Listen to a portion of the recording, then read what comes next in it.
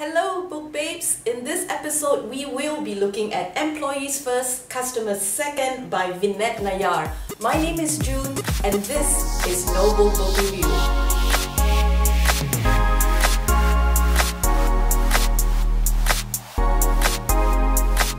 Hey guys, wherever you are, I hope you're having a fabulous day. If you're new to my channel, welcome, and if you're already a subscriber, thank you for staying with me. Now you guys know I've talked a lot about fiction books, but I'll have you know that I also read a lot of non-fiction, especially when it comes to books related to self-improvement, uh, business management, change management, leadership, and so on. You get the picture what I'm into. Vineet Nayar was was Vineet was I speak with a Muscovite accent at the moment. No, Vineet Nayar was the uh, was the CEO of HCL Technologies, and in this book, it is uh, a first-person account of how he came to take over the reins of the company and transformed it from a large but slow to respond corporation into one of the leading companies in its industry. Um, in fact, uh, HCL Technologies were one of the very few companies that continued to register growth even during the recession of 2008 to 2009. Um, the transformation comes in four phases and I'll talk a little bit about each of them here. Phase 1, Mirror Mirror, creating a need for change.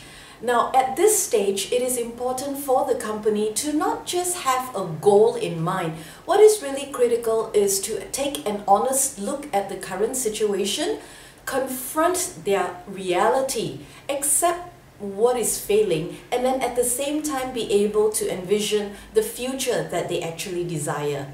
Now, you all know um, in a game of soccer or football, depending on which region you are from, um, the most dangerous or most vulnerable time for any particular team is right after they have scored, right? Because everybody is so busy celebrating, they think that they're in the lead or they've just equalized and they kind of like let their defenses down. It is a little bit like that for companies as well when you are riding on the wave of success, everybody is patting themselves on the back, they're, they're, patting each other's back. I mean, if you're so busy celebrating, um, you might just not realize that your competitor is right behind you and they can easily overtake you in a flash.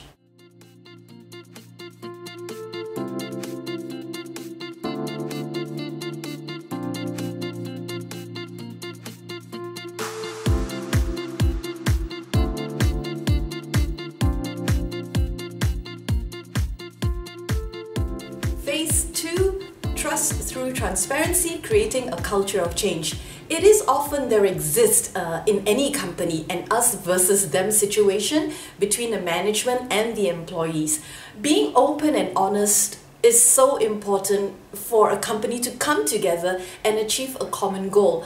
Um, in this book, it talks about, oops, in this book, it talks about pushing the envelope of transparency. Now, this, of course, is easier said than done. People are often reluctant to be open about uh, what's not working because they also fear, um, fear admitting their weaknesses. Unfortunately, these are the very critical things that need to be addressed in order for a company to remain competitive and to be able to move forward.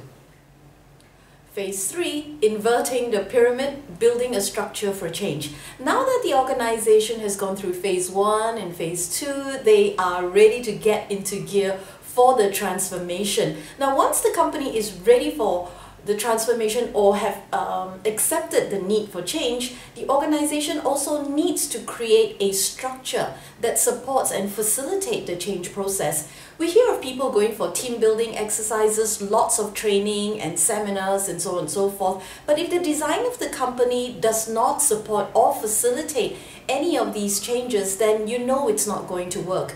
You have heard how many times that people who have gone for all these training seminars and team building exercises, you know, they get really hyped up for a while, then eventually it dies down. You know this is true.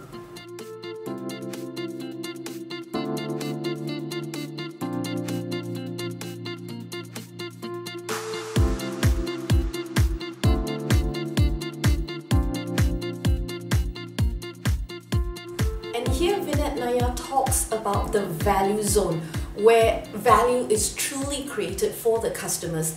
In HCL Technologies case, this is where the interface between the employee and customer takes place. Now, unfortunately, these value creators report to supervisors and managers further up the pyramid in what uh, Vinay Nayar calls enabling functions, and they do not contribute directly to the value zone. Um, and as you can see, this is a problem with structure because people who are in charge may not actually have uh, an up-to-date or day-to-day -day interaction with people on the shop floor who are directly in touch with the customers. I can do I can like do an entire series of videos on this problem alone. Perhaps I should.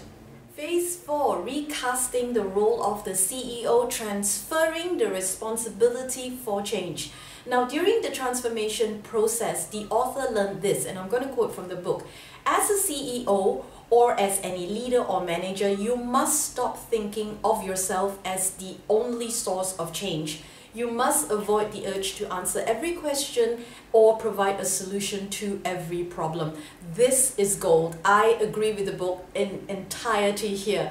Um, any leader should really be asking a lot more questions, be a little bit more inclusive, and more importantly, transferring ownership of the organization's growth to to the next generation of uh, leaders who are closer to the value zone.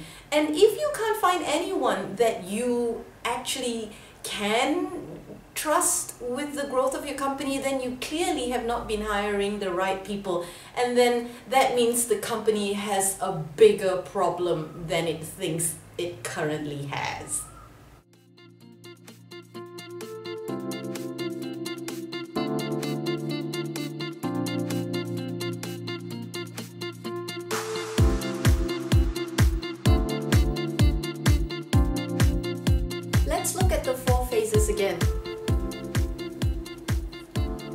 Is this new? No, not really.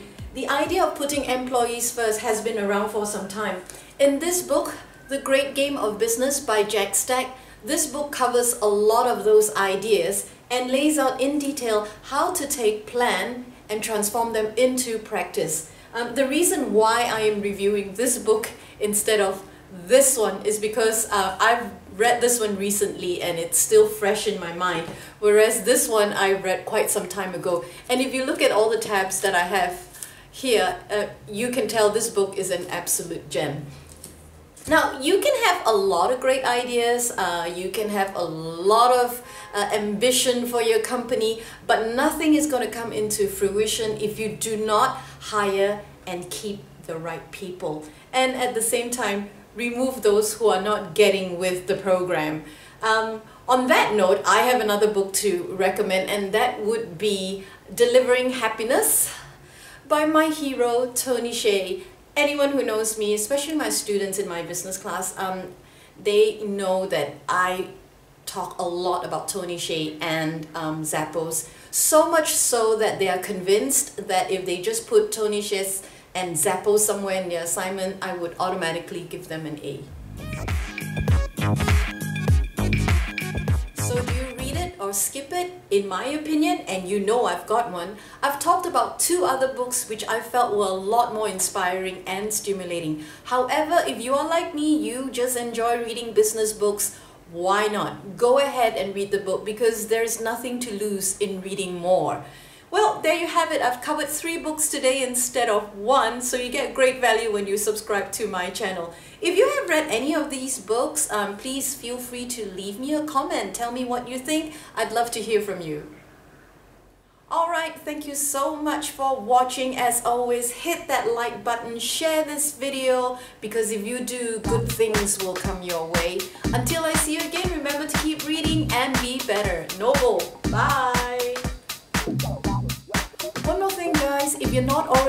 Subscriber, please hit the subscribe button. It would mean so much to me. You can connect with me on Instagram and Facebook and watch all my other videos as well. Thank you so much.